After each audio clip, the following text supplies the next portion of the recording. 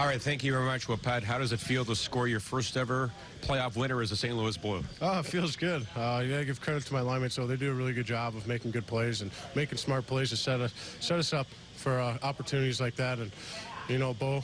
Bo made a heck of a play, just rimming it back down to me, and I just kind of outmuscled my uh, D-man, and Bishop was kind of on the other side, and I had to get it up quick, and I did. And I didn't know it went in at first, but uh, with my uh, teammates telling me it went in, it felt good. Were, were you surprised you were that open down low and really allowed to walk in front with no coverage there? Uh, no, I just think he was trying to like outmuscle me there, and he just kind of fell and toe pick. So I got lucky there, lucky bounce, but you know it feels good to get that one. Obviously, Ben is a, a St. Louisan like yourself. Uh, you run into him in the summer? Do you know him pretty well? Uh, I know him pretty well, yeah. Uh, I try to play golf with him, but uh, it's nice.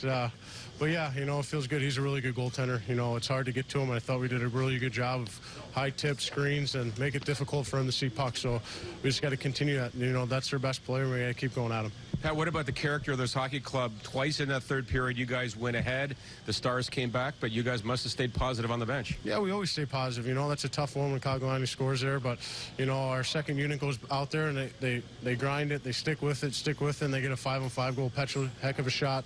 Uh, Thomas going through Bishop's eyes, and like without him going through the eyes, I don't think that puck goes in. So I think they did a really good job of that, and then obviously they scored right away. But our, our team's no quit. We, we just believe, and we have this weird belief system in our room that you know we're a good hockey club, and we just we find ways to bounce back. Yeah, what is it about this hockey club? You guys are scoring some late goals in playoff games to get the win.